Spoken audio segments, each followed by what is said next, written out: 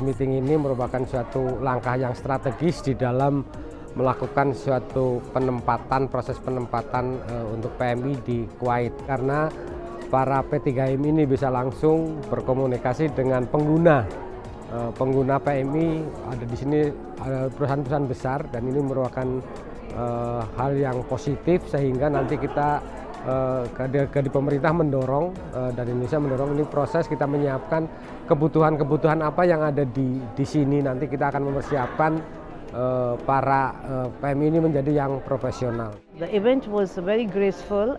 It is uh, one of the best events I have come across because uh, most of the embassies they don't uh, have this uh, uh, business meetings. And I would like also to say to them that they should have the same like how it's today.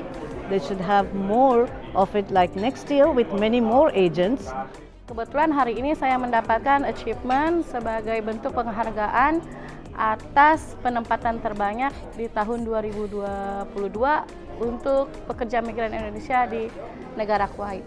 Many people they are looking for uh, Indonesian uh, employees. Uh, I am sure we will have uh, better uh, recruitment in the future. Indonesian Business Meeting di Kuwait ini adalah sangat bagus sekali uh, di mana kita bisa bertemu langsung dengan user-user yang ada di Kuwait, memperkenalkan perusahaan kita agar bisa mendapatkan job-job yang bagus untuk uh, pekerja migran-pekerja migran di Indonesia. Harapan kami ke depannya uh, adalah uh, agar acara ini uh, bisa sering kali di, dilaksanakan oleh perwakilan kita yang ada di Kuwait karena menurut saya dengan uh, adanya acara ini semakin banyak peluang-peluang kerja uh, yang akan kami tempatkan nanti di Kuwait. It's very glad to be a part of Indonesian labor meet and I mean like definitely we are looking forward to have you know like uh, laborers from Indonesia for our upcoming projects.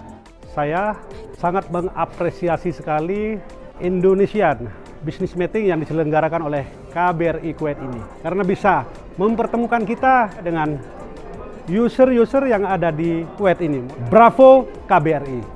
Oke bos!